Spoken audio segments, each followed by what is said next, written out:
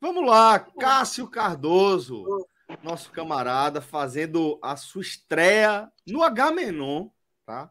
Seja bem-vindo. Você está em casa. Aquele Obrigado. negócio, aquele, aquele, amigo, aquele amigo das antigas que nunca foi na tua casa. Pronto. Cássio é. Cardoso nunca ter gravado um H-Menon, nunca ter participado do H-Menon. Mas. Quando você aqui... veio aqui foi assim. foi, verdade. É, é, foi, foi maravilhoso. Então, foi, espero que seja da mesma forma. Agradável. Sem a cana, né? Sem a cana. Sem a cana, na cana foi ótimo, pô. Pelo amor de Deus. Agora que não vai rolar. Agora eu tô no café e no Red Bull. É? Não tinha cana, era lá, né? Não tinha cana, era lá. Lá tinha que ser. É. É, Bico bem... seco. Depende, é. né? Depende. Pro, Rabin, depende, pro Rabin né? teve, né? Pro Rabin teve muito, por exemplo. É, para residente, já, já vai entrar né, na conversa, né? Sim, pra, por favor. Para residente lá, a bebida ela é liberada, tá? Só que você tem que consumir em casa. Inclusive, você pode cortar a cana, ficar torto, cair trôpego em casa. Você pode comprar tudo: vinho, cerveja, uísque. Inclusive, tem locais específicos, é como se você comprasse uma cota de bebida e anual. E aí você vai usando essa cota durante nesses lugares específicos apenas para levar para casa. Você não pode beber na rua. Agora sim, durante a Copa, na Fia Fan Fest tinha bebida, cerveja, cara, equivalente a 70 reais. Putz, grila, velho. É, por, ser, por copo de cerveja. Assim, para você fazer a noção, o Qatari, o Rial, é Rial R-I-A-L. É uma confusão, né? Então a gente começou a chamar de Qatari para poder, que é o Real. Isso aí não vai chamar de Qatari. É, é, um real, 1,43 reais, um real e 43 centavos. Entre um real e 43 e um real e 48 você compra um Qatari. Ficou oscilando entre essas duas pontas aí até durante a Copa oscilou, mas é a cotação. E aí, é, tipo, você, às vezes você acaba se iludindo, né? Eu fazia sempre um e-mail para ter uma referência. Porque você olha um vírgula alguma coisa, ah, é quase a minha coisa. Não é. Um e-mail é coisa. Então, assim, você via 50 reais, uns 50 reais, alguma coisa é 75, quase 100. Então, era esse preço. Na, no estádio, cerveja sem álcool. E acaba sendo uma pegadinha, né, velho? É, isso, é pegadinha. Se você, se você abrir muitos dentes, você leva fumo. Porque isso, isso seduz, assim, às vezes. Ah, faz a continha aqui, é 200 reais. Na verdade, 300 reais. É 300 reais brasileiros, entendeu? Então, assim, é, é uma situação que às vezes você acaba sendo pego. Eu, eu levei um fuminho nessa aí, quando eu fiz algumas contas de falei, pô, achando que tô gastando 60, tô gastando 90. 70, ah. tô gastando cento e pouco. Então, rolou isso. Mas o mais interessante é que assim, a galera teve a, a cara dura de meter a cerveja sem álcool no estádio, a, equivalente a 45 reais, velho. A cervejinha sem álcool. Suco de lúpulo é foda, né? É, exatamente. E mas os, alguns bares, principalmente em hotéis internacionais, tinha. Eu visitei lá um chamado Belgian Bar para assistir alguns jogos e lá tinha agora a cerveja 500 ml, cerveja boa, cerveja artesanal, cervejas variados com o mesmo preço, 500 ml, é, é, 49 reais catarenses. Então, essa pegada do preço de fanfest ali. Então, você tinha que beber moderadamente. Copa, até porque mas assim, Copa é caro, né? Copa é muito caro. Copa é caro. Aqui, aqui foi caro também. Aqui não era barato. Foi, pô. E não é bom. E não é bom. Não. não é caro não, sendo ruim. É um caro é. você pagando. É, o, ca o cachorro quente. É, é, o cachorro quente estilo americano.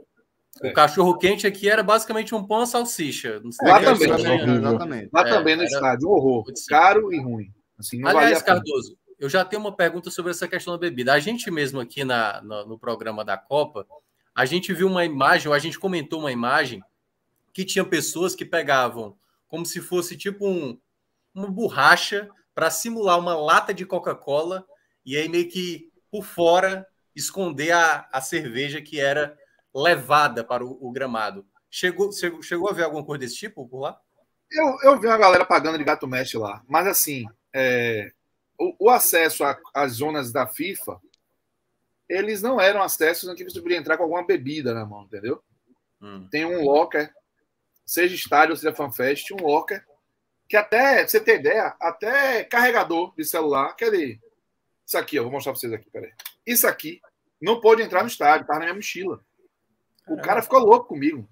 E aí ele queria jogar fora. Eu falei, bicho, não jogue, não jogue fora, não. Eu guardo em algum lugar. Aí, ele me, aí foi que ele me indicou. Esse e esse, todos dois. Eles proibiram esses dois de entrar.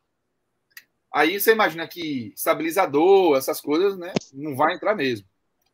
E aí, é, copo também, essas coisas não entravam. Então, assim, a galera, se viesse com cerveja, com água, o que for, com esse copinho de borracha, dificilmente ia passar, porque né? o esquema era pegada de, de, de, aeroporto, aquele negócio de aeroporto, sabe? Você passava. É, é muito mais. É muito mais. Quando vai ver aquilo ali é uma situação bem específica que o cara tá pagando de, de gostoso mesmo, né? É, mas não foi. Não tinha gente bebendo na rua, não, velho. E, e, e, eles percebem essa coisa de quem tá alterado. Eu cheguei, eu cheguei a dizer isso no programa, que eu achava que aquilo ali era muito mais meme do que. É, é muito mais realidade. Alguém pagou ali de gato mestre. E... Até porque, Cardoso, assim, eu conversei com outras pessoas que foram também para a Copa, e os relatos são muito mais de você se sentir acuado, né, do que de querer pagar de gostoso. A galera é. tava muito mais com medo de dar merda do que na estiga de não, vamos botar para fuder porque a gente é foda mesmo e tira onda e foda-se. Eu, eu não, pelo não que tinha. eu ouvi da galera, foi muito mais receio, né? De receio, é. respeito, né? Você se acostuma, assim. Eu vou lhe dizer bem tranquilamente que eu fiquei mais tenso antes do que durante. Na real, quando você chega e tem todas aquelas informações que são rigorosas, que tem isso, tem aquilo, que o controle é muito grande, eles controlam tudo. Eles são tão organizados que essa organização você percebe que ela tem uma função de controle também. Sabe?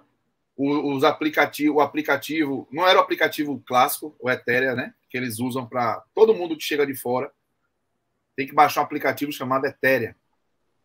Não foi esse aplicativo que eles usaram, eles usaram um aplicativo Raya. Mas, é, por exemplo, esse aplicativo é para você entrar no país, para você pegar um chip, que eles dão um chip com 2 gigas grátis. Meu irmão, é. é já é controle. Você é, vai. E para seguir, né? É. Bonitão, né? É, você, é. você é, tinha o. Eu tinha uma, uma, uma rede celular contratado da minha operadora que pegaria um limite muito restrito lá. Aí eu peguei esse chip também, troquei. Porque eu, lá eu podia ficar recarregando, eu mandava coisas. Eu saía do apartamento, velho, passava o dia fora. Então eu ia mandando coisas durante o dia, não ia ficar. Esse negócio de Wi-Fi, ah, Wi-Fi em tudo quanto é lugar. Não é assim. Isso não é assim. Wi-Fi lá, na estação de metrô, é na estação dentro do metrô, esqueça. Oscila. Horrível. E não é todo lugar que você tem, que chega e é acessível assim para Wi-Fi. Então, você, era importante você ter esse chip. Então, eles eram muito organizados com, com isso, a coisa do controle. Chegando lá, eu fui percebendo que, ah, você tem que tomar cuidado com bermuda. Não podia homem usar bermuda acima do joelho. Pô, velho, na, no duro. A galera, assim, isso é regra para quem pratica islamismo, para muçulmano. Você não vai entrar numa mesquita. Normalmente é assim. Mas entraram. Eu vi. Eu estava numa mesquita, num lugar chamado Catar, chamado Mesquita Azul. A galera entrou de bermuda. Não entrou calçado. Calçado ninguém entrou. Mas de bermuda entrou. E não pode normalmente. Eu estava de calça. Mas assim, usei bermuda tranquilamente. É, vi mulheres usando roupas muito mais é, ventiladas, leves, com ombros à amostra, pernas à amostra. Inclusive, algumas mulheres de lá que moram lá, né, casadas com brasileiros que são pilotos de, da Qatar. Eu conheci um brasileiro que ele é, é instrutor de jiu-jitsu do exército do Qatar também, já mora lá, gosta de morar lá. Mas assim, você só entra no país com o emprego certo, tá? Ou você é turista, ou você entra com o emprego certo. Você não entra para catar emprego. Então, acabou o emprego lá, você tem um mês para ir embora. Venceu o seu contrato lá, você tem um mês para ir embora. E essa é a angústia de todos os brasileiros que estão lá, porque estão vivendo bem, né? Vivem bem. Mas eles, é, eles estavam falando que as mulheres estão vivendo como se fosse uma primavera na Copa do Mundo. As mulheres, inclusive, do Catar. Porque houve uma, houve uma flexibilização assim, não anunciada, uhum. sabe? O pessoal foi, fechou os olhos assim, para algumas coisas, as pessoas andavam realmente na mesquita de bermuda, entrava, é, aí as mulheres locais saíam com suas, suas roupas um pouco mais leves também. É, há uma, uma fiscalização com essa coisa do, do comportamento mas é, homens lá que são amigos andam de mão dadas. É, é um hábito, né? É um hábito. São amigos e andam de mãos dadas. Alguns homens que têm uma relação mais próxima de amizade, quase familiar, se cumprimentam com o narizinho, velho. Sabe?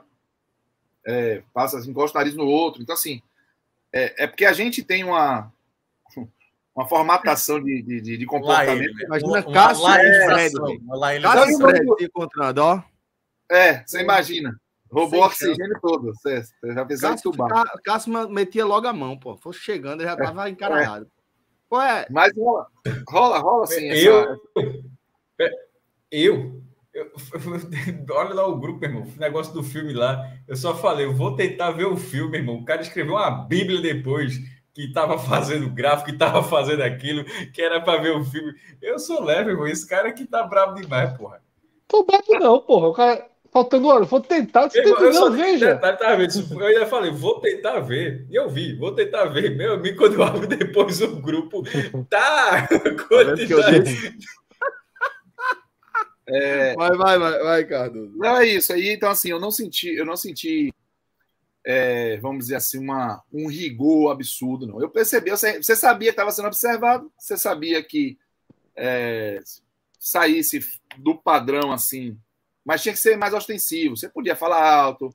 É, as câmeras que dizia, que dizia que o pessoal implicava muito, não era câmera de celular. Lógico que você vai evitar parecer que está filmando alguém lá, porque realmente é um invoca, assim, órgão do prédio de governo, alguma coisa militar. Você, eles tiram uma pergunta.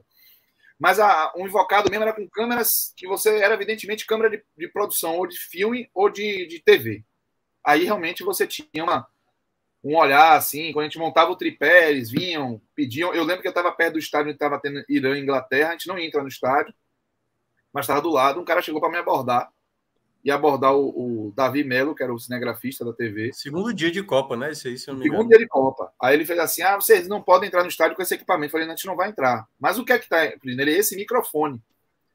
Aí ele, esse microfone não pode entrar, porque você não pode captar esse áudio lá. Eu falei, não, mas a gente não vai entrar. Ele, ok, você não vai entrar, mas eu vou colocar isso aqui. Pegou um adesivo, que eu não sei o que é o adesivo, e colou no microfone, velho. Eu digo na base do microfone, aquele que você deita, encosta na câmera, ele tem uma anteninha na horizontal para poder você fazer a, a, a captação. Sim, e ele sim. colou o adesivo lá e foda-se. Não perguntou, se colou o adesivo. A gente só tirou depois. Então tinha um pouco dessa, desse autoritarismo, mas. É... Não. É uma pergunta. Chegou a alguma coisa durante a Copa mudar esse, esse controle que eles tiveram? Por exemplo, no começo tinha uma, uma certa precisão, assim, um certo cuidado com determinadas coisas. Ao longo da Copa, eles foram, ah, velho, já estamos é. aqui, a galera já, já aceitou e tal. Aconteceu eles várias vezes. Eles cobrando o famoso cartão Raia, que é tipo um aplicativo, que você pega o aplicativo e tem uma hora que é o seu perfil com QR Code.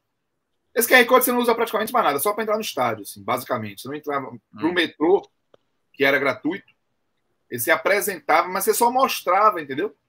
E uhum. quando começou a ter muita gente passando, gente pra porra, aí a galera, please, Raya Card, please, Raya Card, mas na real, aí, esse é o, é o cartão Raya. Você mostrava isso na tela do celular, eles não conferiam se era eu, se, nada disso. Você simplesmente passava, mas muitas vezes não cobravam, porque não tinha como, velho. Era muita gente muita passando, gente, né? não tinha catraca, entendeu? Então, assim, eles mudavam um pouco o comportamento. Antes da Copa, chega perto do estádio para filmar. Eu fui pro, pro Albaite, que é o estádio da abertura, dois dias antes da abertura. Tava um inferno. Do, dois pontos que estavam um inferno. Primeiro, três. Tava quente como a zoa. É, segundo, eu tinha acabado de chegar, então eu estava impregnado com essa preocupação de fazer alguma coisa errada e ser punido ou dar alguma merda e não explicar, apesar do inglês lá ser uma língua nativa praticamente, eles falam árabe, mas as crianças de lá aprendem o inglês junto com o árabe, certo? Assim, corrente, normal, currículo normal. Então o inglês é de boa, mas assim, você fica preocupado, porque quando ficar nervoso, você já começa, a, né, a, faltam as palavras, enfim. E aí tinha essa atenção e tinha um rigor em volta do Albright em relação à câmera. E a gente estava querendo usar a nossa câmera de TV. Então isso foi, foi um pouco tenso assim, mas a gente não sofreu nada. A gente percebeu o seguinte: algumas pessoas vinham depois eu entendi que era meio que segurança paisana, sabe? Uhum. Chegavam, se aproximavam com alguma simpatia e me davam uma sequência de perguntas, velho. Como se estivesse interessado em você, mas na verdade estava interessado em saber o que você estava fazendo ali. Hum. Então, vinha logo pensar, ah, você é de onde? E vocês são quem? Não sei, sabe? Mas na, na, na simpatia, na brodagem. Aconteceu isso na frente do Albaite, aconteceu isso num lugar chamado The Pier, a Pérola, é, que é um lugar turístico, que é uma ilha que foi construída e que tem um pier, todo um negócio lá. O pessoal da, da equipe do, daí, da, de Recife, da TV Jornal, ficou lá. Sim, sim. É o Albaite. E, isso. E aí, aí foi quando eu fui para Holanda e Catar. E aí o, o, o cara também chegou e abordou. Mas assim, com o passar dos dias, eu fui ficando muito à vontade lá, assim, nesse aspecto. Entendendo o que eu poderia e não poderia fazer, no duro, na prática, muito à vontade. Eu ia para o lugar, eles tirava foto, é, me preocupava em não abordar pessoas, é, bem parecia que estava filmando pessoas, mas abria, fazia minha, minha live na hora. E isso foi, foi algo assim que foi melhorando eu tive dois, dois momentos mais tensos que foram três, na verdade, mas um foi engraçado. O, um foi eu sendo abordado por uma mãe de uns meninos árabes nessa pérola e ela estava de burca, de burca sem cobrir o rosto, mas de burca no resto, né? Toda de preto. E os meninos com a roupinha também de árabe, só que branco. E eles estavam com a bola e elas viram a câmera e viu eu estava com o uniforme da TV. Ah, vocês vão fazer uma filmagem? São de onde? Do Brasil. Aí fez assim, ah, e, e você pode então filmar meus filhos, eles falam muito bem o inglês, o inglês deles é fluente. Aí, e eu fiquei meio tenso, porque lá tem uma relação diferente com mulher, aquela coisa de mulher ser meio propriedade, são esses meninos aí, que eu fotografei. Uhum. E aí eu falei assim, eu falei, ó, eu não sei que elas vão entrar ao vivo, mas eu posso filmar com meu celular. Nisso que eu tava falando com ela, já tinha uns três caras ao meu redor, velho. Dois, evidentemente, de segurança, o outro eu não sei se estava de curioso. Mas você já fica meio tenso, sabe? Ainda mais porque era no começo também. E aí eu filmei os meninos jogando bola. É mostrei a ela, depois, e aí depois eu percebi que tinham quatro seguranças ao redor. Na conversa, eu falei, velho, vai dar uma merda aqui. Aí teve uma hora que ela riu. Era mulher do shake. É, sei lá, velho. É, parou, aí pegou meu celular, aí passou pro airdrop o vídeo que eu tinha feito e pediu para e trocou o WhatsApp comigo e pediu para quando fosse pro ar para eu mandar. Aí, é, tipo, fica. Cardoso uma... arrumando a bronca. Cardoso Porra, arrumando a bronca. É isso. Aí eu falei, velho, fiquei preocupado, eu fiquei tenso. Só que aí, quando a mulher estava dando risada, não sei o que, que ela saiu e mostrou para os meninos e me deram uma risada, aí os seguranças foram meio que descomprimindo ali, tá ligado? Eu percebi os caras se afastando. Mas os caras chegaram sem me abordar. Eu só percebi porque, eu, como eu estava tenso, eu começo a olhar por lados e eu vi que o negócio estava acontecendo. E a outra vez foi que eu subi num lugar que não podia subir. Eu já estava mais à vontade, solto, andando para cima e para baixo. E era tipo. É onde vem o erro, né? É, é, é quando, a merda é quando você relaxa. É. Empresas, a maioria das empresas que quebram é quando estão crescendo. E aí a, a, fui subir num lugar que era gramado, com escadinha. Eu falei, porra, um mirante, entre a praia e o 974. O Brasil já tinha sido até eliminado, já estava na pegada turista ali tá. Aí eu subi, grandão, sem medo, vou fazer uma, uma imagem massa daqui, botar meu estabilizador. Quando eu cheguei na caixa d'água, no que eu percebi que a caixa d'água, eu já ouvi o grito, velho. O cara revoltado lá. Filho da puta! Só os atiradores de elite, assim. Desce, desce, desce, desce, desce. Aí eu desci, agoniado. Falei a ele que não ia fazer, não. Cara, não pode, não sei o que. Eu só era uma praia que tinha ali ponto, velho. Eu tava ali, na verdade, porque eu quis ver ali ponto de perto. Imagine, imagine, cacete, você chegar ali para amor, vamos para a praia, vamos, beleza. Aí, por um helicóptero. Helicóptero na praia, na praia do 974. Dois espaços para helicóptero pousarem ali. É um estacionamento de helicóptero. No chão, no chão, no chão. Eu estava perto desse lugar aí. Aí o cara reclamou. Mas assim, fora isso, real, fora isso. Aquele, ah, tudo... aquela, aquela tua foto fazendo um X, ninguém te, te tentou também parar, não. Perto. Não tinha ninguém Mas nem para nem para o senso do ridículo aquilo ali, ninguém tentou te não, parar. Não, não ninguém perto. Nem, isso não é ridículo, não. Não é ridículo, não. Eu gostei. Não, é aquilo ali é plenitude, meu irmão. Aquilo é plenitude aquilo física. Ali. Eu andei quase 20 km por dia, em média. Então, me senti preparado para fazer aquilo. É um herói. É um herói nacional. É Você precisa ver o ensaio, irmão. Ali foi a que deu certo. Ali foi a que deu certo. Você precisa ver é, o ensaio. E a outra foi uma coisa curiosa. Assim. Eu conheci na Mesquita, a Mesquita Azul, um português que ele estuda o islamismo, é, é, é muçulmano, e estuda o islamismo, e o trabalho dele é, é um trabalho de desmistificação do islamismo, né? principalmente de quebra de preconceito. Thales, o nome dele. E aí, esse é o Thales. E Thales é uma figuraça, velho. É um cara assim, desenrolado, fala árabe, fala inglês, fala português, francês. Um cara e, e, e absolutamente Um cara generoso, um cara boa praça, um cara que chega, abraça. E aí, quando eu conheci Thales, eu falei, pô, Thales, legal, gostei das explicações, ele me explicou sobre a mesquita. Aí eu falei, pô, eu queria. Você conhece alguém que faz passeio ao deserto? Ele, você quer ir ao deserto? Eu falei, queria ir ao deserto. Ele, é, eu, eu faço, é, a gente vai no deserto. E aí, velho, eu falei, beleza, vamos organizar aqui. Falei com o Alex, com o Davi, pedi até para ele falar também com o Alex, que o Alex era muito de entretenimento. E o passeio ao deserto era de graça. Que massa, velho. Só que aí, então, Fred, é, é, é, Celso, eu sou brasileiro, né? Convivo aqui com a nossa cultura da vantagem, do esparro, da laranjada, do, do não, não, não aceitar alguma coisa assim muito. Tem alguma coisa aí, né? Onde é que tá, onde é que tá a surpresinha? E nisso, eu fiquei muito tenso na véspera, porque eu dividindo com os caras, falei, velho, né, tem alguma coisa errada aí. O cara chegou. Se fosse alguma, alguma fuleiragem, né? O passeio ao deserto comercial, comercial, hum. era quase mil reais por pessoa. Pô. Certo. Você entende? E o cara tava ofertando de graça. Porra, é foda. O cara, eu, e aí eu fui no site que ele disse que tinha, eu fui, e, e, e tinha um site, tinha ONG, ele tinha um perfil na rede social. E mesmo assim eu tava tenso. Aí eu vi que o site era novo. Falei, rapaz, essa porra, velho. Aí a gente brincando, né? Ah, o cara vai, vai, vai sumir, vai vender meus ovos, não sei o que, aquelas coisas, né? Que, que, aquela resenha quinta série também que, que, rola. Mas eu fiquei tenso. Aí tinha uma pessoa no, no apartamento, no, no condomínio, Nadine, que ela, ela é, é, venezuelana, mas mora lá há muito tempo e é filha de brasileiro. Então ela fala um português legal. E eu fui falar com ela, já tinha me ajudado em algumas coisas. Eu falei, Nadine, o que é que eu faço aqui? Isso o Alex já tinha perguntado à guia também, lá do Catar, e ela tinha, não conhecia o serviço. Mas ela, ela falou o seguinte: as duas falaram a mesma coisa. Mas, ó, o Catar é seguro. Essas pessoas não vão fazer nada com vocês. O máximo que pode acontecer é ser uma farsa. É ele de prometer que vai lhe entregar alguma coisa que não vai entregar. Mas ninguém vai lhe fazer mal nem nada. E aí, ainda assim, ela se predispôs a ligar para ele. E eu falei a ele, eu falei, ô, ô, ô Thales, é o seguinte, eu vou pedir para algumas pessoas confirmarem com você e eu vou lhe dizer, eu vim do Brasil.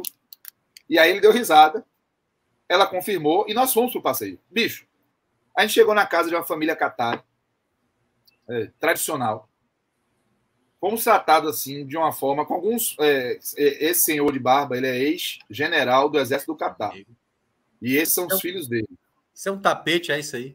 Isso é um tapete no deserto. Aí não é a casa, não. Aí é o deserto. Aí ele preparou um jantar pra gente. Preparou um jantar pra gente. A gente foi pra casa dele primeiro, aí comeu tâmara, é, tomou chá árabe, ouviu algumas coisas. Isso o Thales que organizou. Organizou é, é, Thales explicando alguma coisa sobre os islamismo, sobre a cultura. E aí a gente foi para o passeio no deserto, com eles levando a gente pro deserto. E chegou lá, tinha o camelo, tinha um camelo lá, cara, que custou 6 milhões de dólares. Esse aí? Não é ele. Não. Ganhei, ganhei um tá Fire Game numa fuleiragem dessa, viu? Hein?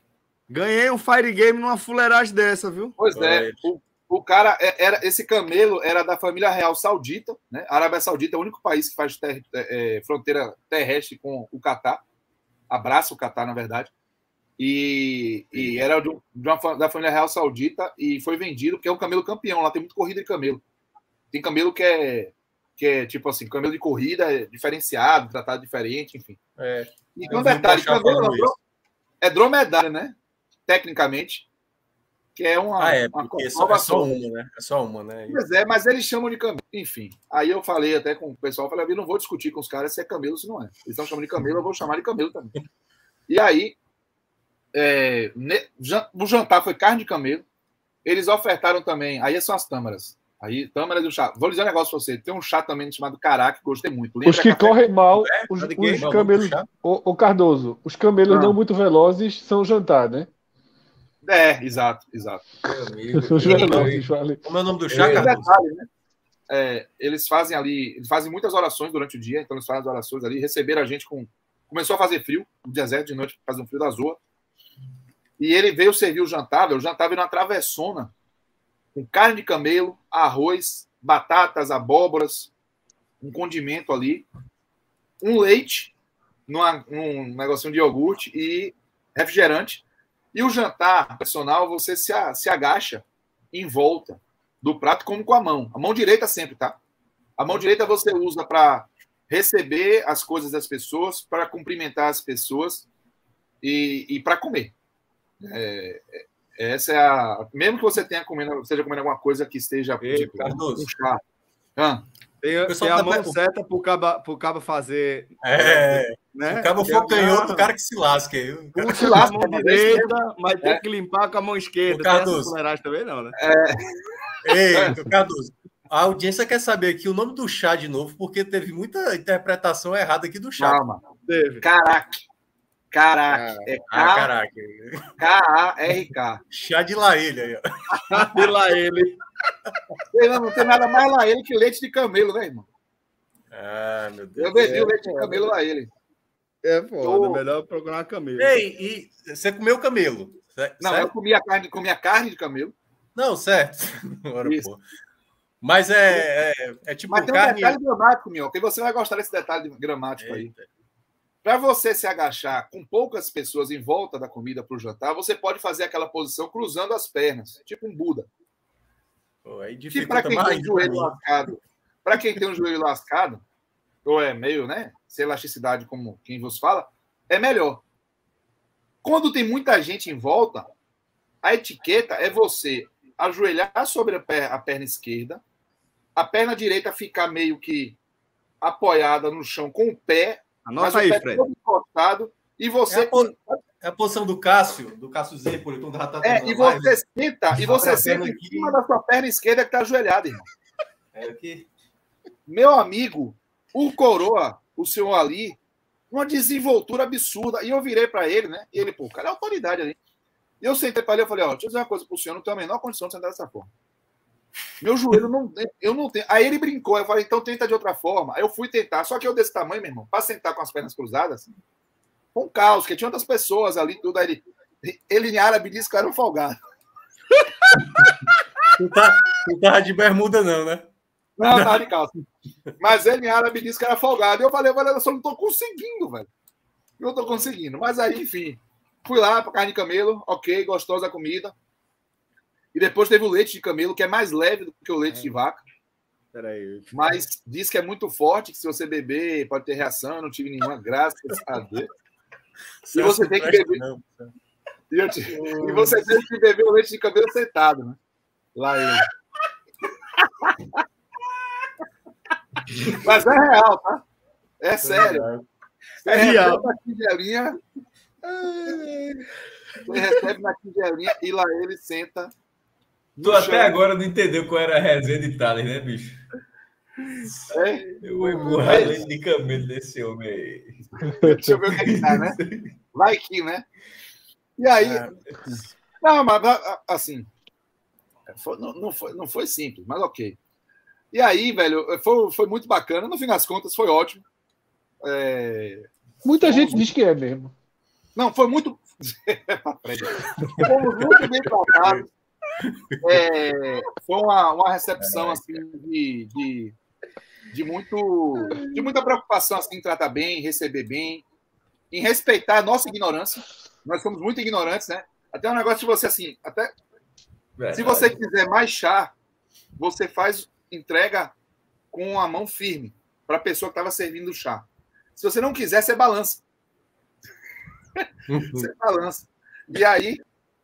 é, Engraçado, né? Geralmente é o contrário, né? É, Quando você quer, exatamente. você balança, né?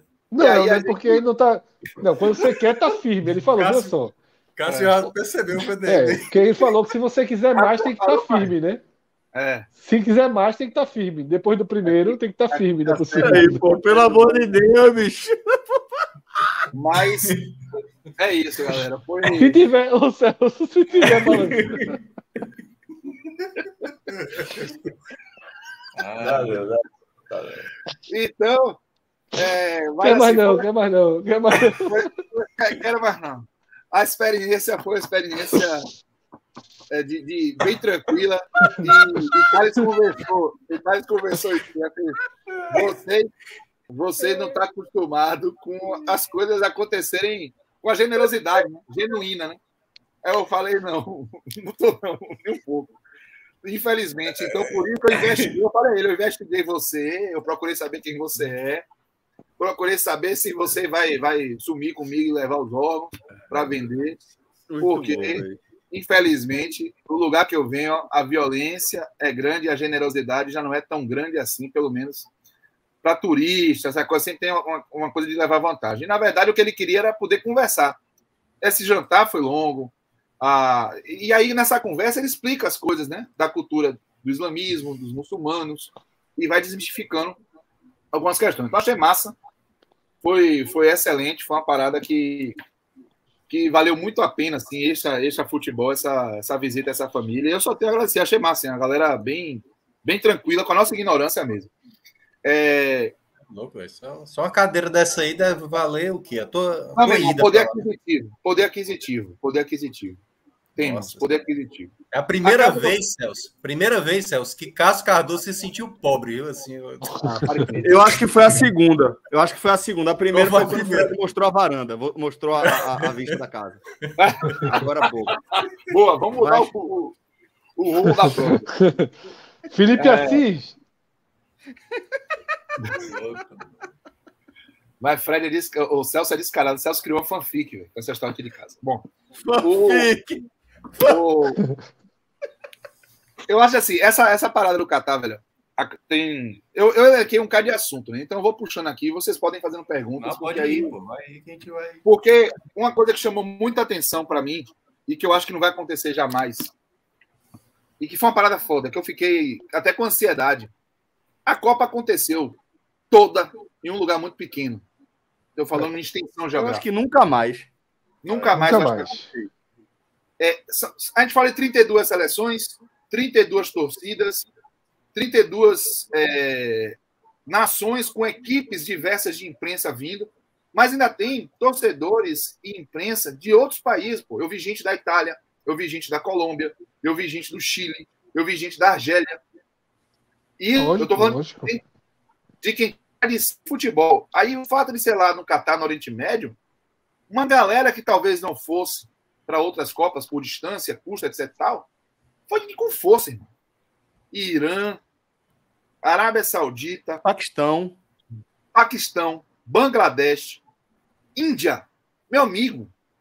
A Índia invadiu e os caras são muito apaixonados por futebol e realmente apaixonados muito. por Brasil e Argentina. Os marroquinos, Os marroquinos, marroquinos também vieram muito. Mas marroquino, assim, é, foi difícil distinguir o marroquino que veio do Marrocos e o marroquino que foi conquistado pela seleção marroquina durante a Copa.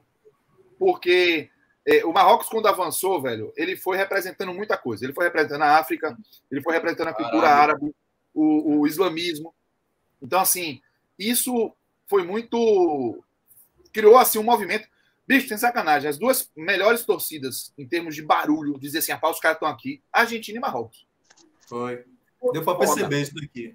Pelo menos eu percebi. Os cara, Marro... O Marrocos, quando ganhava jogo, era a quantidade de carro passando, buzinando. Eu vou contar essa história desse senhorzinho. Era uma quantidade de carro passando que, assim, buzinando, que parecia que, tipo assim, vocês que vem quando o time aí popular da cidade de vocês ganha um título, aqui, vai lá, vou, quando o Bahia Vitória ganha alguma coisa, meu irmão, é buzina, né? Carro passando, era Marrocos passando de fase. E não tinha nenhuma outra seleção que transmitisse essa mesma sensação lá, sabe? Era a do Irã, quando ganhou um jogo do país de Gales, fez uma, uma zoada. Mas, assim, nada parecido com Marrocos.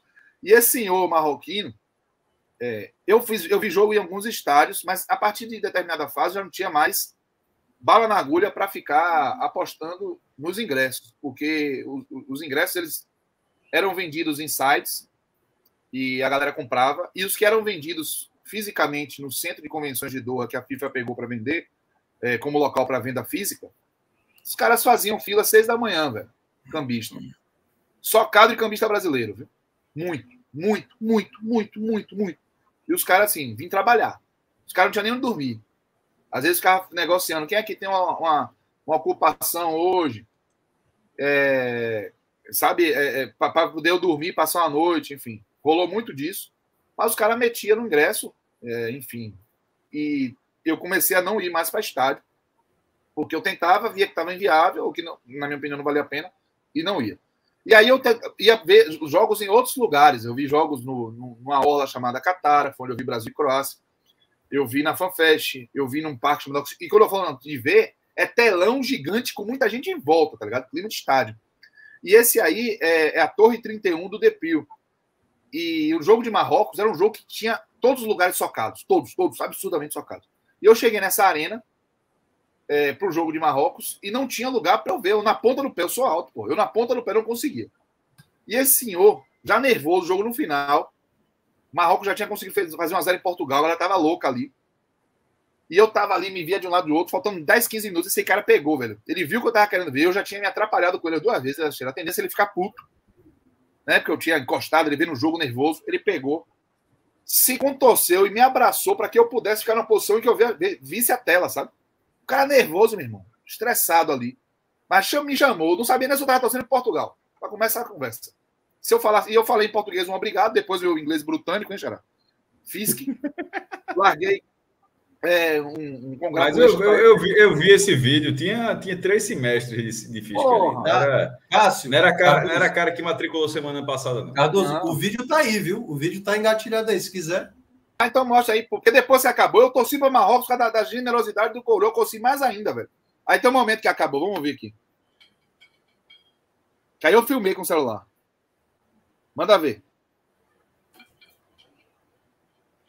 É, tá dando uma travada. Tá dando uma travada. Mas aí é, o, o, o, momento que acabou o jogo. Termina o jogo, né? Termina o jogo, né? É, Marrocos e Portugal, e aí o Coroa, meu irmão, ele tava numa emoção, velho. Numa emoção, um negócio contagiante, sabe, velho? Isso é massa, sabe, velho, de, de, de Copa, assim. É... é uma parada. Futebol, bicho. Futebol mexe. A gente talvez desligue de vez em quando disso, porque convive com o dia a dia. Mas a capacidade que o futebol tem de comunicar, velho.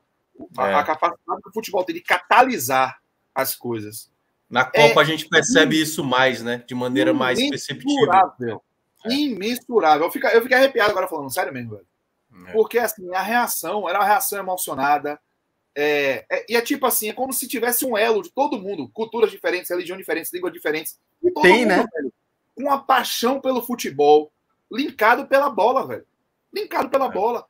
Sabe, velho? Então, assim, é, isso é uma parada que várias vezes me emocionou lá. Esse dia eu me emocionei com ele. Eu fiquei feliz, genuinamente feliz com a classificação dele para a semifinal. E olha que o Brasil já tinha se lascado, já estava assim, meio porra, mal. Eu fiquei mal, eu vou falar sobre é. já já. Mas assim, essa, essa mobilização foi encantadora, velho. E esse, essa, ele foi tão generoso e eles estão alegres ali com aquela, aquela conquista. Foi, foi fantástico esse momento é. de Portugal e Marrocos. E, e, a alegria assim da, da galera. E eu pensando isso, falei, meu irmão, como o futebol é louco assim, velho. Como o futebol é. tem um poder, velho. Porque... E, e, curiosamente, Cardoso, né, os minutos finais desse jogo, né, tem uma chance que o Chedira perde, aí tem uma outra chance do lado e, e fica aquele Isso. jogo maluco, né? Mas assim, é, o que você falou é, é, verdade, porque eu acho que teve a eliminação do Brasil e aqui no Brasil a gente muita gente se abalou por conta da eliminação, mas eu acho que realmente no outro dia, quando tem a classificação do Marrocos, se torna talvez um, um dos melhores capítulos da Copa, né? Claro que tem a oh. final e tudo mais, mas essa classificação de Marrocos foi assim: primeiro, era a África chegando pela primeira vez numa semifinal, o jogo na Arábia, né? A Copa na Arábia.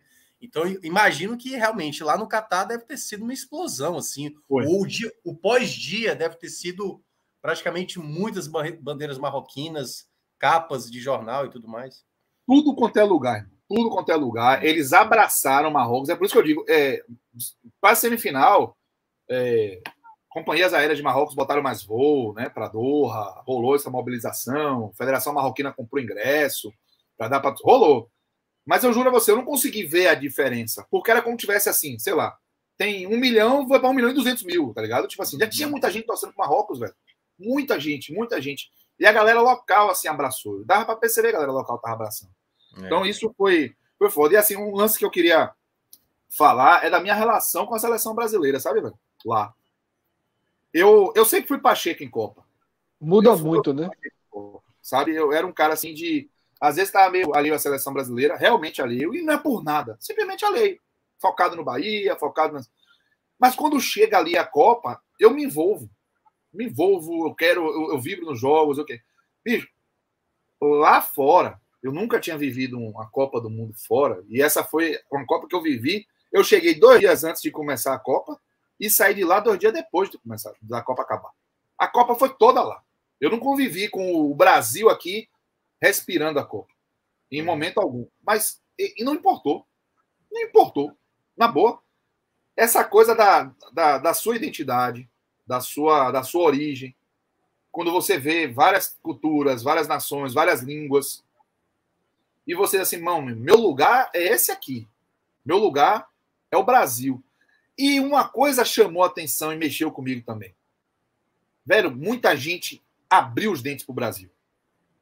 Sério, locais assim. Quando eu falava que era brasileiro, velho, a, a receptividade era ainda maior. Muita gente dizia que estava torcendo pro Brasil. É, que a supor, o suporte, nós, vamos, é, nós somos supporters do Brasil, assim, é, queremos que o Brasil ganhe. Quem vai ganhar a Copa é o Brasil. Neymar é idolatrado. Neymar é idolatrado. A gente não, não vou entrar aqui na, nos métodos do, do perfil ídolo Neymar. Eu estou dizendo o que, é, o que é o fato. Assim. A galera é louca por Neymar e louca por Messi. É, quando eu cheguei lá na Copa, no Catar, dois dias antes da, da abertura, eu fui num ponto turístico chamado Corniche, na Orla. Esse é Ricardo Forte, depois eu vou contar o que foi que esse rapaz me proporcionou, esse, essa grande figura aí. É, e aí, eu vi umas torcidas organizadas, organizadas demais.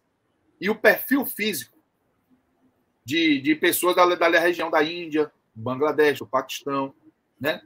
É, e que o inglês, inclusive, com o sotaque, que o inglês dessa galera é inglês diferente. É um inglês diferente. Forte zero. Tá uma coisa um pouco mais marcada, assim. Não é um, um inglês mais fluente como da galera de lá do, do Catar. Porque detalhe, viu? Você só é cidadão catar se o seu pai for catar. Se você. A, é, a, a, mulher for catar e você for de outra nacionalidade, nascer no Catar, você é da nacionalidade dos seus pais. Esqueça. Da sua mãe. Ou da, da é isso. Você não é. Pra você ser cidadão catar lá, você tem. É, é, muito, é muito restrito. E aí, velho, é, eu vi essa galera torcendo, mas aí essa galera foi mais artificial. Mas depois chegou a galera que torcia de verdade pro Brasil e não era brasileiro, velho. Torcia mesmo. Fantasiava a família toda de Brasil sabe? Ia para os pontos turísticos e falava Brasil, e, assim, e, e aí isso foi, foi criando uma. Ainda um, um, Sabe aquela sensação que você cria porra, velho, a casa tá preparada para fazer minha festa, assim, sabe? Porque tinha muita gente torcendo Brasil, muito, muita gente, muita gente torcendo Brasil.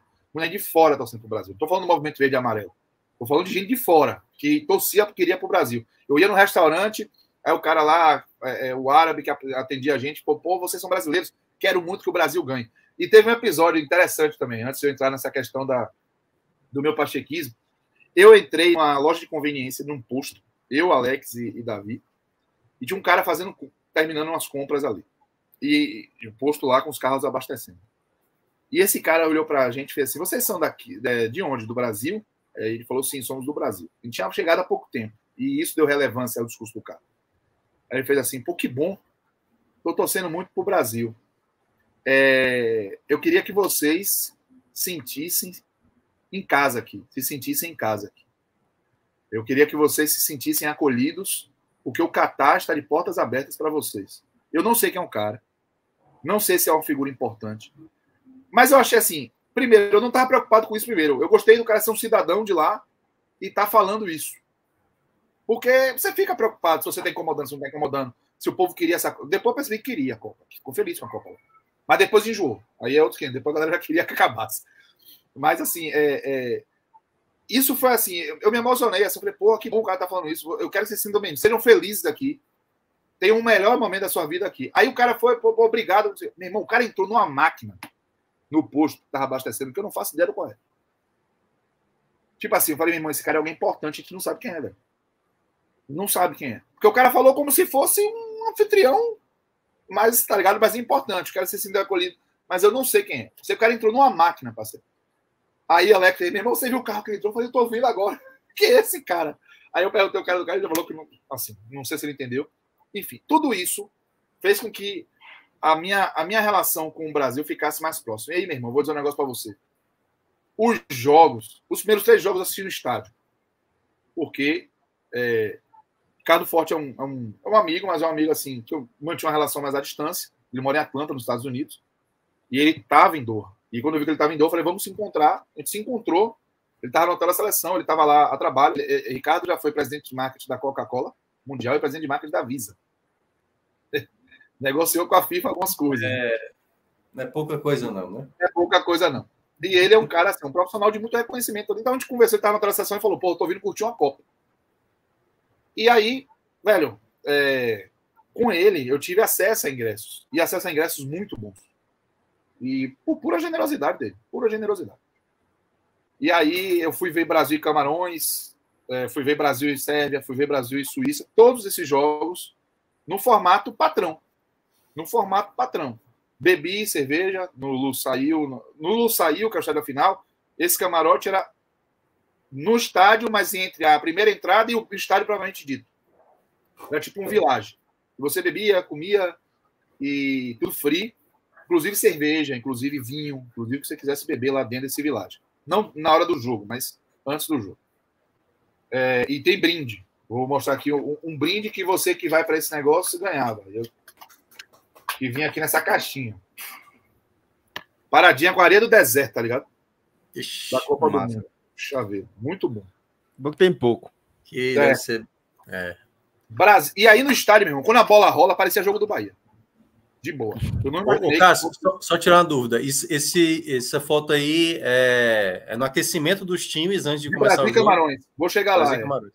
Vi Brasil e Suécia num camarote ainda mais sofisticado. Eu vou contar uma história engraçadíssima. Foi, só esse jogo aí que tu ficou perto do gramado, só para perguntar. Só Brasil e Camarões, isso. Eu então tá, tá, explicado, tá explicado aí. É? Ah. Tá explicado a derrota, né? Porque foi chegar perto. Ah, cheguei pertinho dos caras, né, velho? E os é. caras querem, né, velho? Muito próximo. Brasil e Suíça, velho, eu fui para um negócio chamado Skybox. Aí o brinde, lá nesse Brasil e Suíça eu tinha garçom para servir. Dinheiro. Vem do jogo lá na hora. Brinde era é... dólar. Barra de Nossa. ouro. Não, meu. O brinde era dinheiro. O brinde é esse aqui, ó. O brinde é esse, é, veio nessa caixa. É essa placa de, de cobre, velho. Olha aí, ó. Tô dizendo que era dinheiro. e vem com a basezinha. Fred Figueiredo não tem uma dessa nunca aí no beach tênis. Não chega nem perto. Pô, meu, para. Agora que o Minhoca falou, parece, velho. É, tá vendo? É. Beach tênis é, é o futuro. E aí, é, lá tinha jantar, um isolamento acústico de um camarote absurdo. É o camarote parecendo da Arena Pernambuco, parecendo da, da Arena Fonte Nova, no formato, mas no conteúdo, irmão, era uma sofisticação ah, é? absurda. É. Olha lá. Whisky, docinhos, garçom. Aí eu sei nem comer. Hein? É. Ali eu não sei nem comer. Oh, oh, oh, eu nem vi, Foi constrangido para abrir um vídeo do celular e mostrar o que estava acontecendo. Falei, pô, não vou pagar essa pala, não. Mas eu, depois eu. Aí eu só conheço a água, viu, Cássio? Aí daí eu só conheço a água. É. Não, foi, eu nem sei se é água que eu, que eu já bebi, mas. É um camarote para 16 pessoas só, velho. 16. Então, assim. Tinha uma gema de ovo ali, que eu. É. Não aparecido hoje, não. É. Foi, é, foi, caro, foi caro, essa, mas eu não é, Essa é a paradazinha lá do, do Jurassic Park, pô. O cara pega ali, o mosquito, para gerar o, o T-Rex e tal. É uma parada, uma parada. Foi, aí você. Lá vem Celso com piadinha. Fui no banheiro. Quem é que eu me bato dentro do banheiro? Davi Trezeguet. Sério? Foi. E aí, pra pedir, velho? No banheiro, porra, uma foto com o cara. Não pede, porra. Oh, no banheiro, porra, velho. Nada. Aí eu, eu, eu, tipo assim, eu tava no limite, né? Não Opção pede. Tava no limite. Aí fui no Mictório, olhando pra esse, esse bicho ia sair, menino, pra correr atrás. Mijei a 255 milhões por hora, velho. Guardei sem balançar, desculpa a expressão, e fui correndo atrás do cara para conseguir achar, velho. Doido. O cara correu, porra. O cara Devia... correu, tá doido, é? O cara correu, velho. Cara, tem um grandão lá no banheiro, meu irmão. Ele avisou pros outros, ó, tem um grandão lá no banheiro que é melhor correr. Nem balança. O grandão nervoso, assim, ó. O grandão nervoso procurando. Quando eu entrei, eu falei, olhei pra cara dele e paralisei, porra. Falei, caralho, é 3G, porra. Caralho, 3G. E aí, o que Cardoso, que agora imagina o contrário. perdeu o pênalti da final da Copa 2006, não foi? Foi. Perdeu, perdeu, perdeu. Não, e ele era um dos piores que quando eu jogava videogame. Perdia gol demais comigo. Impressionante. Mas fazia na Pô, o Trezeguet. Aí fala, não, assim, cara, pô, o Trezeguet é, é Copa 2006, pô. Porra. Mas ele ganhou a Copa de 98, né? Ele tava, não tava? Ele tava na, na delegacia. É, 98, acho que tá. É, ele foi todo mundo, ele foi. Ele foi. Curi, mas foi e ganhou a Eurocopa. Eu sei que eu não consegui tirar foto. Aí, é, só pra, em paralelo, na história paralela, o meu tá contando. que ele foi no evento que tava João Bon Jovi, velho. E o cara louco com o Bon Jovi. Aí, por coincidência, na hora que ele foi no banheiro, quem tava lá no banheiro? Bon Jovi. Bon Jovi. Trezeguet. Aí, o que é que ele fez? O que é que ele fez? Fez, pô, tô aqui, meu irmão. Eu vou manjar o cara, velho. Aí, ó. Diz que ele queria ter autoestima pra, e queria saber se o mundo era justo. ah, pô, eu não acreditei. Eu falei, mentira, velho. Pô, manjou. Manjou. E manjou, olhou pra cara e qual foi, meu irmão? Peraí. O cara Essa do- manjou, essa- manjou, velho. Essa do 3G foi, foi Brasil e Suíça, né? Brasil e Suíça. Brasil e Suíça, né? Brasil e Suíça. Que coisa. Aí, Mas foi dar um Google. Aí, quando, quando, quando foi Brasil e Camarões, teve essa oportunidade para uma ação da Visa de ir panorama por aquecimento, velho, no, no estádio da final, assim, velho. E aí isso foi foda também, porque eu- é, é isso, velho. eu sou, eu sou criança quando fala essas, essas coisas de Copa, sabe, velho? Comecei a pensar, eu falei, porra, velho, os caras da final vão passar por esse corredor. Caralho, vão olhar para essa chegada aqui, ó, para esse é estádio. quem gosta, que é o que é nosso caso, Porra, é foda, pô. parecia uma criança, man. Aí eu falei pra ele, eu falei, o que é que eu não posso fazer aqui? Ele, ó, só não faço stream direto, ao vivo. Mas pode filmar, tirar foto. E tome cuidado com, com as bolas que a galera tá chutando no aquecimento. E foi real, man.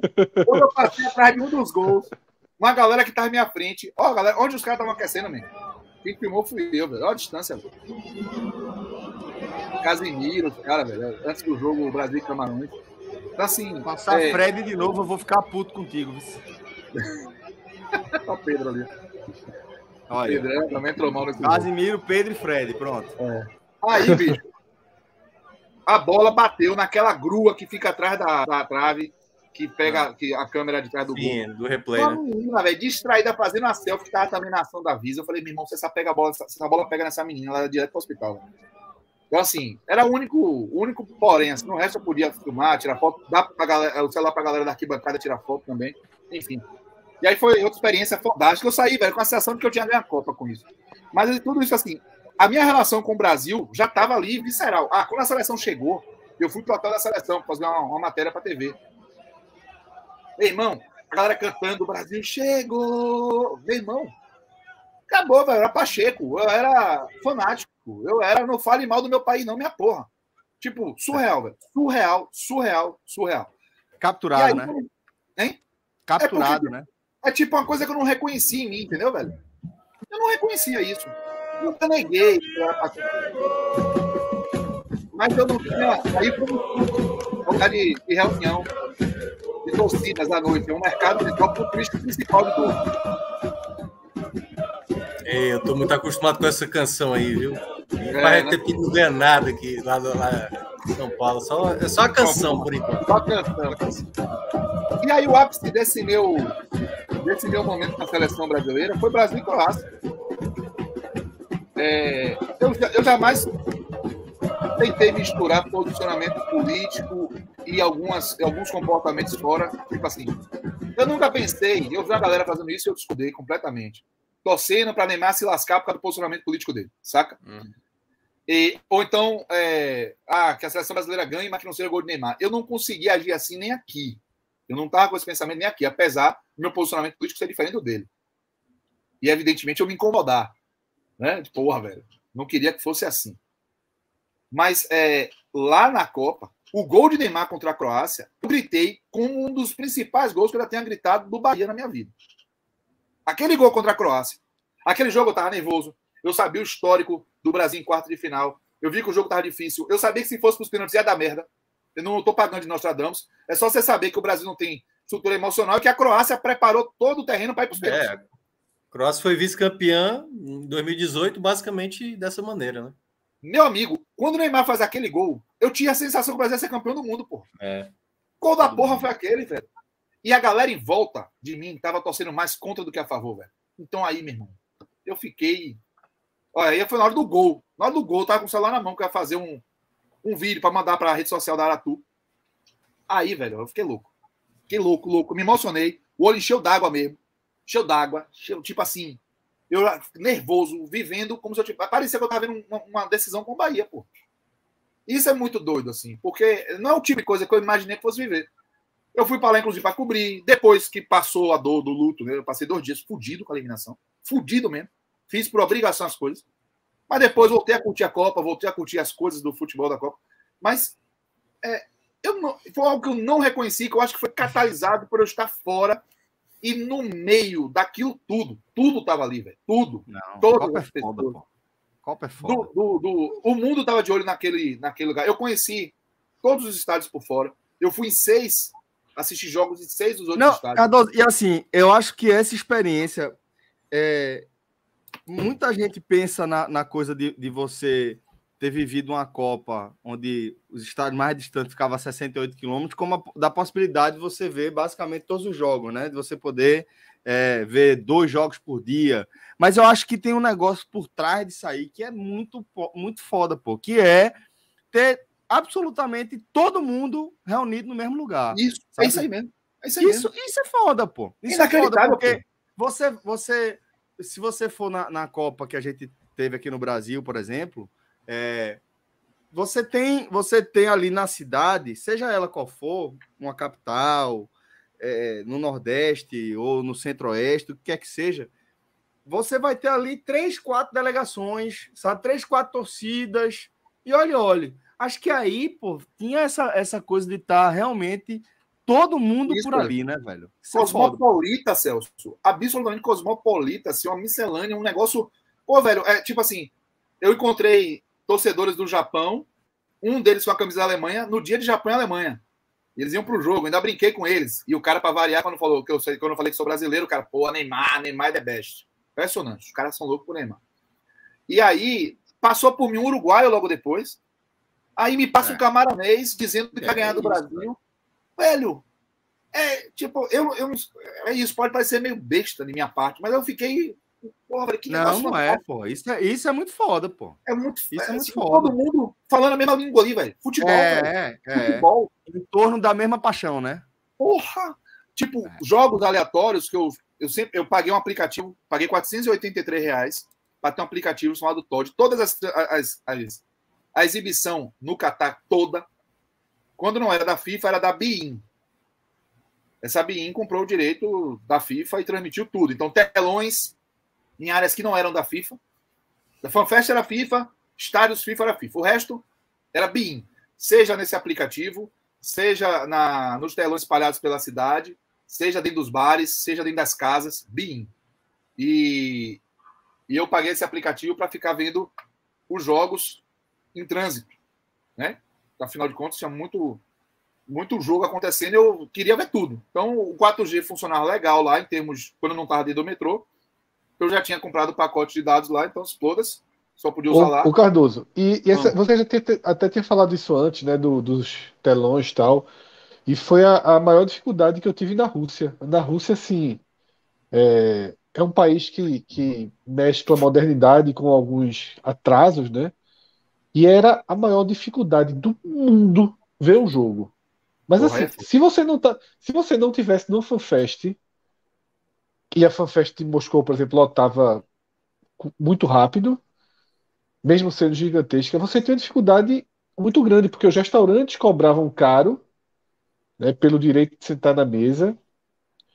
É, e mesmo teve um jogo que eu fui, acho que foi Argentina e Nigéria, eu tentei, fui para um restaurante, só que lá, basicamente, todas essas transmissões eram via internet. Não era via canal aberto, não era. Era como, como se a gente tivesse no stream. E falhava o tempo inteiro assim. Eu me lembro eu tentando ver aquele Argentina e França que foi um jogaço, eu desisti de ver o jogo, pô. Opa, aí, Não tinha vaga em nenhum restaurante, não tinha nenhum lugar, não tinha, não tinha como ver as partidas.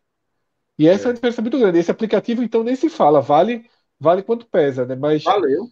Valeu. Essa foi uma dificuldade muito, muito grande que eu senti na Rússia, e você, pelo que descreveu aí, foi um cenário totalmente diferente, né? Foi diferente. Tinha lugares, eu descobri lugares de telão.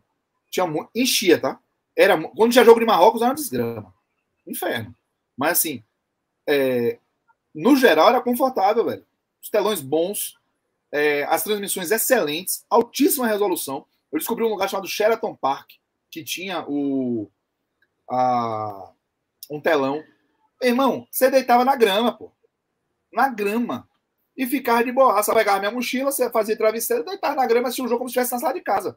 Assistindo um telão gigantesco, uma parede de celular, de, de, de, de projetor que fosse. Então, assim, assisti em vários lugares. Assisti num lugar chamado Oxygen Park, assisti no Fan Fest, que é essa imagem que tá aí. Assisti no, no Catara. Catara foi ruim, que eu tive que ficar em pé, porque a galera começou a trazer cadeira pro lugar, e aí você via que tava ficando inviável você se movimentar ali, começou a ficar ruim. Aí eu assisti em pé, mas eu tava nervoso mesmo, de boa. Foi do Brasil. Assisti no Corniche, perto do Museu de Arte Islâmica. Velho, vários lugares. Assisti dentro de West Bay, num prédio de West Bay, que era aberto. Você podia chegar e sentar, tinham dois cafés ali funcionando, mas você não precisava pagar para assistir. E o telão de boa também. Eu vi Argentina e Croácia lá. Então, assim, é, essas, aí, esse é o West Bay, é o lugar que tinha os prédios modernos lá. Então, velho, assim, é, foi um, uma Copa que facilitou quem tinha alguma condição, porque o aplicativo não era assim acessível para todo mundo, e eu percebi isso porque na final da Copa da França e Argentina eu não entrei, mas eu estava do lado do estádio, do lado. E logo que a França empatou, que eu estava me encaminhando para ficar mais perto da saída por Uber, porque o metrô fechou, eu puxei de novo o celular, né? Eu tava assistindo, a Argentina fez 2 a 0 e eu só pensava o seguinte: vai dar merda aqui. Tem 100 mil pessoas dentro do estádio, 100 mil aqui fora. E ainda tem a comemoração do Dia Nacional do Catar a, sei lá, 30 metros ali, em paralelo. Vai dar uma merda, vai ser um colapso. O metrô já tava fechado, a linha vermelha. Nunca vi fechar, o tempo todo que eu tava lá, fechou, porque não tinha condição de atender. Então, assim, eu comecei a me dirigir para ir embora. Aí, quando a França empatou, eu falei, a porra que vai deixar de ver esse final de jogo aqui. E eu parei, meu irmão, eu parei, tirei meu celular, fiquei segurando. Quando deu dois minutos, tinha uma multidão atrás de mim vendo o jogo, velho. Não tinha percebido, pô.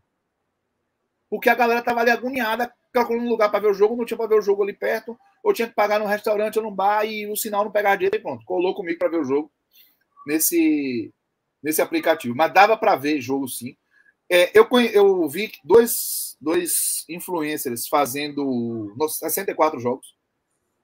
E aí eu acho que eles não curtiram muito os jogos. Eu consegui ver dois jogos no mesmo dia, curtindo, tá? O, o Suécia, o Sérvia e, Camarões, uma hora da tarde. E o Brasil e Suíça, que foi 10 horas da noite. Então eu pude ver os dois jogos e curtir os dois jogos com conforto. Aquele Lucas Tilt, ele. Eu encontrei ele em Bélgica e Croácia, dentro do estádio. E era a, a última rodada da primeira fase. Última rodada da primeira fase, você tinha quatro jogos acontecendo na mesma cidade, mas dois em dois blocos de dois. Ele assistiu 15 minutos de Croácia e Bélgica, pô. E teve que sair correndo para ver outro, entendeu? Que era Marrocos e esses Canadá. Caras, ó, oh, oh, esses caras são produtos de uma sociedade doente, pô. É. Isso aí não é bonito, não é engraçado, não é nada. É produto de uma sociedade em que você registrar que foi é mais importante do que você viver o é, momento. Na verdade, é. Esses é dois caras que fizeram Fred. isso são, é parada, são, Fred, são doentes, pô. É a parada isso, do isso, quantificar, isso entendeu? É a do parada do quantificar, né? né? Aquela coisa. É, eu preciso de visualizações, eu preciso de 64 jogos. Eu... Aí, enfim, na prática ele não está assim, tão preocupado com o conteúdo, com a história. Porque uma coisa que eu ia até perguntar para o Cardoso é: essa foi uma Copa até parte dos jogos não eram tão bons, mas ficou marcado por muitos momentos grandiosos, né? A vitória da Arábia Saudita contra a Argentina, o momento em que a Costa Rica, por cinco minutos a Copa do Mundo, estava colocando Espanha e Alemanha de fora, e foi uma loucura, né? Então, assim, eu acho que teve vários momentos como esse, né? A classificação do Marrocos, a Coreia passando ali, eliminando o Uruguai. Foi, então, foi. vários momentos durante a Copa que foram, cara, meu Deus do céu, o que é está acontecendo aqui? E eu acho que vai ser marcada essa Copa de 2022 por esses momentos de loucura, praticamente, que estava acontecendo também, que, que, é o que, que eu queria perguntar para ti. Esse pós-jogo, assim, tipo, galera da Arábia Saudita e japonês aparecendo feito maluco lá depois de vencer a Alemanha. Era, era uma loucura, né? Cada dia que tinha uma, uma experiência dessa é, era, era muito bom encontrar a galera feliz. Assim. Eu vi uma galera que às vezes ficava meio blazer depois do jogo, era como se desligasse depois do jogo, tá ligado? Não eram todas as torcidas que eu percebia isso. Os japoneses, por exemplo, eu achei bem quietinhos, assim. Acho que a galera que torcia contra a Alemanha... Vai limpar o estádio, né? Depois ele tá... É, a galera que torcia contra a Alemanha vibrava mais do que os japoneses que eu tive a oportunidade de ver depois do jogo. Mas, é, é, de qualquer forma, era tanta gente apaixonada por futebol que a, é, era como se fosse um, um, um, uma engenharia coletiva, tá ligado? Pelos eventos. Quem não, até quem não ligava para um ou outro, basicamente, só quem não curtia esses eventos era quem torcia para quem perdeu. Sim. No mais, todo mundo vibrava com aquela coisa, seja quem estava torcendo, seja quem gosta de futebol, porque era algo peculiar, novo, a galera ah, levantava, vibrava. Então, assim, é, essa, essa foi uma parada massa, e eu acho que é isso. Né? Era legal curtir, velho. Ver o comportamento, é. ver, ver as reações. Representei, viu? Representei, representei. Ô, Cássio, é... Cadê as Até estrelas? Vai... É. oh, botei camisa do Bahia nesse, no dia de terceiro disputa do terceiro lugar. Fui macetar ingresso, mas achei caro para o jogo. E aí fiquei ali em volta do estádio mesmo. E Gritei um bora Bahia na saída de Arábia Saudita e Argentina, tá? Do estádio. E teve resposta. Aí, aí a Argentina, obviamente, né? Acordou ah, com o negócio. E amor, larguei, eu vi os caras do Bahia, eu gritei de longe, eu tava do outro lado, bora Bahia! Os caras levantaram, eu mandei esse vídeo pra ti. Não sei entendeu, se bora Argentina, e a Argentina foi não, não, não. E eu chamei também De Bruyne pra jogar no Bahia com o meu inglês britânico. Gritei pra ele que eu tava perto da bandeira de escanteio, eu falei com esse sacana, vem cobrar aqui, eu vou dizer que o Bahia agora é City e ele vai, vai jogar no Bahia. Dá Danielzinho para lá na troca. Diga, Fred. É o seguinte, até para a gente não acabar caindo na tentação de resgatar os momentos da Copa do Mundo, né? Que não é. a gente já está falando aqui da vitória da Arábia, já já a gente está falando do gol de. da... do erro de Fred P, está falando do gol da Croácia. É, você destacou muito. Você destacou muito, é, e, e quem gosta de futebol, foi um sonho você ter essa Copa num, num ambiente tão pequeno. Foi. Eu daqui eu fiquei com a sensação que existia uma, uma, um efeito colateral, né? uma contrapartida dessa que eu pensei assim, eu disse, cacete, se eu fosse, eu fui para a Copa da Rússia com minha esposa, né, com Mariana. Eu disse, cara, se eu fosse com ela, ia estar tá sendo um caos assim, porque a sensação que eu tinha é, o grande prazer é ir para os jogos ou ver os jogos já que você tem isso o tempo todo. Sim. Uma Copa tão pequena, o turismo em si se resolve muito rápido, né? Você é. não tem uma troca de cidade, você é tudo. O é. turismo ele, ele vira algo. É. Veja, o, a Doha ela tem muitos atrativos. Tem muitos atrativos. É, porque é uma cidade que tem dinheiro. Então cria os atrativos, não é aquela coisa assim, Isso, assim, é. sabe? Então cria. O, os museus, é... Porra, velho, eu vou dizer um negócio. Eu conheci três museus muito bacanas. Eu fui para quatro museus muito bacanas. Eu fui para um de design, que tinha um co-work massa no, no, no, terraço, que tinha uma, uma, uma, exposição de Valentino incrível. Pô, eu não ligo para moda assim, sou um cara. Mas achei sensacional. É, eu fui para o Museu dos Esportes, que tinha umas exposições de futebol, 3, 2, 1, que era no Estádio Califa, que foi o estádio terceiro e quarto lugares, anexo ali, então o museu só funcionava em outros dias. Eu peguei um One Pass. O One Pass é um passe que você pega que dá acesso a um, a um grupo ali limitado de, de acesso de museu, mas pô, vale muito a pena. Um acesso do Museu Nacional do Catar é 100, é 100 reais catarenses. O One Pass que eu peguei é 99. E eu consegui entrar em cinco museus com ele. É, esse é o Museu de Arte Islâmica. Meu amigo, a arquitetura desse negócio é surreal, pô. É o cara que projetou o Louvre. Os caras escolheram onde ia subir esse negócio. Ele escolheu, então ele escolheu um lugar projetado para a Baía do Golfo e com esse skyline ali de Doha ali atrás, nesse, nesse vidraçal, eu fico imaginando para limpar essa, esse negócio. É, é, lá no tipo, fundo, assim, né? Sem, sem qualquer risco de tapar a, a, vista, sabe?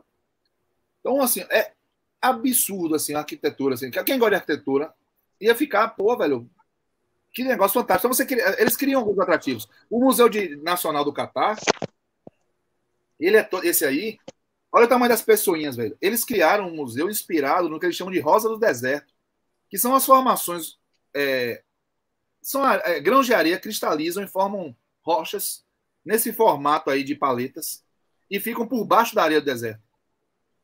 E eles criaram um museu com arquitetura inspirada nisso. Meu irmão, lá dentro é surreal, velho. Lá dentro é, é, tipo, você anda, anda, anda, você dá uma volta sem perceber que tá dando uma volta. E chega no, no lugar novo, assim, fantástico, fantástico, fantástico, fantástico. Os prédios, o, o, ele é pertinho do aeroporto, esse museu. O, os prédios, o Hotel Fairmont Hotel, que parece ali uns cornos, né? Ele é muito bonito. Foi um hotel que foi fechado para convidados da FIFA. É assim, é, tem atrativo, sabe, Fred? Mas assim, esgota. Se você ficar 30 dias, só acaba rapidinho. Não, não dá. Tanto que assim, a característica principal do turismo. Não, é. A característica principal do turismo de Doha, né? É você parar ali dois, três dias, né? Você está é, fazendo uma escala, né? é um super hub, é o é. hub internacional, né? Então você, ah, vai para Tóquio, pô, passa três, quatro dias no, no Catar, né? Ah, vai para é Sydney, três, quatro dias, vai é para Pequim, né? 3, 2, 1. Lindo, é. né? Eles investem muito, em arquitetura, velho, muito. Tem um conjunto de você falou, o dinheiro, o dinheiro, o dinheiro, né? É um pouco de Miami, né? O dinheiro, você constrói o que, o que a atração, é, né? Em Lusail. É o lado, esse Boulevard, é o Boulevard que eles construíram do lado do estádio da final, velho. A comemoração do Dia Nacional do Catar foi aí. Então, assim, imagina que foi um caos. Então, assim, eu quando chegou a, a final, eu tava feliz que tava chegando na final, porque eu vou voltar para casa. É como tipo assim, amo, amei assim a parada, a vivência, a experiência, mas sabe quando diz assim, tá bom? Não, é total, total. É, isso, aí, isso, isso aí nada mais é do que aquele resumo do que a gente via nas maquetes que era assim: como vai ser a Arena Pernambuco? É. Como é que vai ser? Entendeu? Era, basicamente foi feito aí, entendeu? Aqui no Brasil foi feito o um estádio. Basicamente foi isso. Tudo foi projetado. É, é, é, isso. Assim, o, eu diria que a experiência ela vai ficando maior com, com o tempo. Eu vou, talvez, ir lembrando situações, eventos. Ah, sim, tem um negócio muito doido, né? É, a galera lá aborda, seja para amizade, seja para outra coisa, muito por airdrop, mandando cards de Snapchat. Você tá no metrô, daqui a pouco tá no metrô e, e, tem um detalhe, a sensação de segurança é um absurdo, tá? Absurda. Tipo, já fui para vários lugares com a sensação de segurança. Né? Vários, vários. Em que, pô, me senti com a sensação. Mas Recife em Doha... mesmo, aquele dia que tu veio, né? Ah, em Salvador. Salvador tá um negócio sério. Mas assim, é... em Doha, velho, é como se fosse impensado qualquer tipo de, de abordagem para lhe subtrair alguma coisa, para poder lhe, lhe, criar alguma coisa é, ostensiva, hostil. E não demora para você abraçar essa sensação, né? À vontade, sem o menor problema. Não, ó, ó, tem muita gente que não esbanja grana. Muita eu gente. Eu sei, eu tô falando assim é porque eu, é... eu peguei um exagero, mas tipo assim, uma coisa muito valiosa você não precisa ficar preocupado olhando Eles não mexem. Vai... Eles não mexem. As lojas de ouro, o SUC, por exemplo, tem lojas de ouro. Aqui, em Salvador, pelo menos, eu imagino que seja, seja parecido, lojas de joias de ouro em shopping fecham uma hora antes dos shoppings fecharem. Sim. Por é, medida de segurança. Teve até assalto é. aqui. Então, lá, elas estão abertas com a vitrine para a rua. A vitrine está na rua, na rua. Você passou ali na rua, tá lá uma peça de 200 mil reais de, de, de, de ouro. A entrada não tem porta de banco, não. É a entrada de uma, de uma banca de revista. É. Essa sensação de segurança que a gente aplaude, e, e, e claro, agora ela tem um preço também, né? É, é. claro. Ela tem uma. Ela tem uma... punições que fogem ao. ao... É, exatamente, é. né? Agora a história do dedo cortado. Que não precisa, na verdade, ser, por, ser dessa forma, né? Lá é, aconteceu assim, né? Então, a não, história do cortado. Não, é isso que eu tô dizendo. A gente também não é pode fingir que. Lá, né? É uma grande. É uma grande. Né? A, a, é. a, a, jornalista argentina que foi furtada, ela reclamou de um furto. Foi ofertado a ela. Eles falaram assim: nós vamos encontrar e vamos devolver os seus, os seus bens. E você precisa nos dizer o que você quer que aconteça com o ladrão. Ela falou que o que foi ofertado a ela foi deportar o cara imediatamente ou ele ficar detido por cinco anos, preso. É, isso foi o que ela publicizou. E ela não publicizou a escolha. Tá? Ela só falou que os e policiais. Aí? Não sei o que Não, escolha morre, escolha morre. Ah, escolha morre? Volta pro país dos cinco anos. cara pra casa. Não, não vou cinco é, anos, não. Deportar, cara, cara, se o cara não for nacional, manda o cara pra casa, pô. O cara o problema cara é de outra, outra, pessoa, né? E tem um dedo lá, um, um uma, uma obra de arte. De Ponto. Um é, não, você escolheu mandar o cara pra casa. É um dedão, man. É um dedão. Não vou mentir. De, sei lá, 4 metros de altura, banhada a ouro É dele. Ele tá dentro do É like, viu aí? É like. É like grande aí. É. E o pessoal começou a dizer que esse dedo era uma, uma mensagem que o governo do Catar estava mandando a quem pensava em roubar lá, porque é um dedo decepado. E, na verdade, é uma obra de um francês que está no Louvre, tem uma obra dessa igualzinha na Coreia do Sul. E a galera trata esse dedo como um amuleto para o futebol, porque ele foi instalado um dia depois do Catar conquistar a Copa da Ásia, né? em 2019. E aí eles tratam como ah, é um dedo que vale, é positivo. Mas tinha gente que problematizava, dizendo que esse dedo era uma mensagem do governo. Então, assim, tinha um. é, Tem esse lance, assim. Mas essa sensação de segurança, por mais que ela tenha um motivo e o motivo e o preço, porra, meu irmão, vou dizer um negócio para você, viu? Viver isso talvez tenha sido o maior luxo que eu vivi. Foi eu chegar, procurar um lugar para fazer uma locação, abrir minha mochila com MacBook, com equipamento, com a porra toda, abrir a mochila, tirar as coisas, botar em cima de uma mesa, dentro de um gazebo, em cima, embaixo de um gazebo numa praça, andar para se lascar dentro dessa, desse, desse parque, procurando um lugar e saber que ninguém ia mexer lá.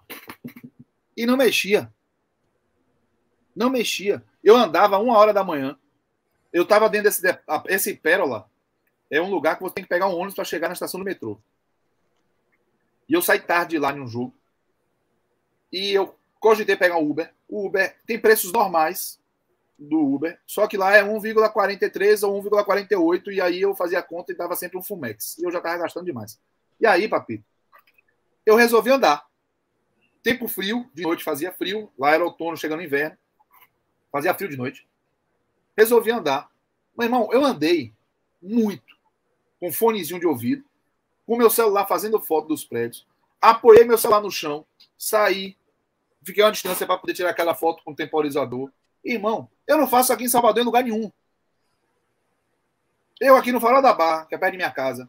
Eu não me sinto à vontade para botar o celular no chão e fazer um temporizador. Acho que ninguém, acho que ninguém faz nem no bairro que mora. E porque outro dia desse eu vi um cara 5 horas da manhã fazer uma selfie no Cristo aqui da Barra de Salvador, o cara atravessar a rua de moto na hora e render o cara e tomar o celular, pô.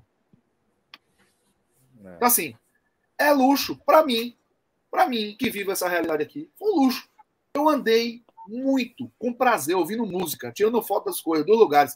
Aí acabou os jogos do dia de Copa. Eu criei um formato para o meu Instagram lá durante a Copa, que é palavra encaminhada. Porque eu podia sacar o celular uma hora da da manhã, depois de todos os jogos estarem acabados, eu andando para casa e fazer uma live sem me preocupar. Uma live, não, um vídeo, para postar depois, sem me preocupar se eu vou ser abordado. Pô. Quem está no Brasil sabe o que é isso. A galera lá nem pensa. Não sabe o que é isso, mas a gente sabe. Você sacar um celular uma hora da manhã, irmão, na rua andando, É ninguém, né? Escuro. A minha preocupação era, porra, não tem luz aqui, vai ficar parte do vídeo escuro. É só. Só, Só essa isso, né? não tinha mais nada. Pô.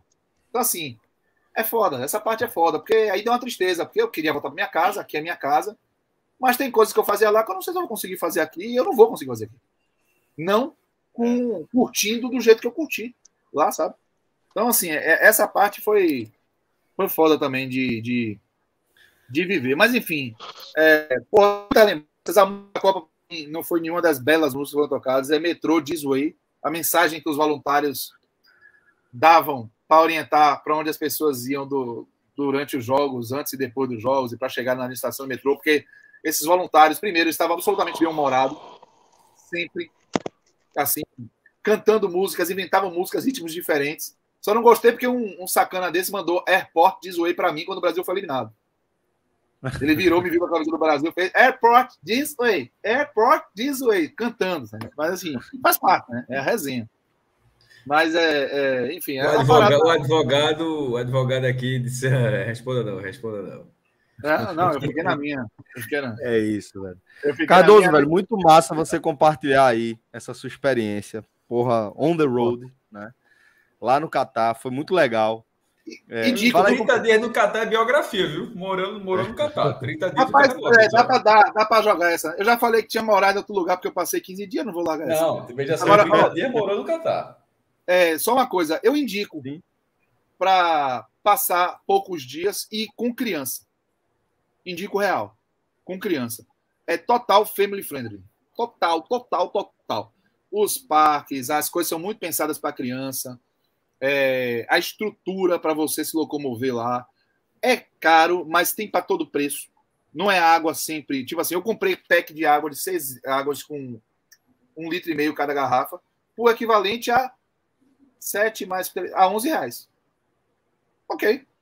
De boa, no mercado. No, no meu prédio tinha um mercado, no hotel. E esse mercado cobrava esse preço. Então, assim, é, não é assim, tudo é um absurdo, mas não é uma cidade que, para você viver bem, confortável, ter um padrão de vida, você tem, é, é acessível. Mas, enfim, para quem quiser passar três, quatro dias e com família, pegar um pouco dessa relação capitalista, tem um, tem um quê de americano ali na, na formatação de algumas coisas. Um quê em caixa alta, né? E, e, e curioso, em um país islâmico. Entende? Então, assim, tem esse, esse choque Ocidente-Oriente ali, que não é bem um choque. É uma.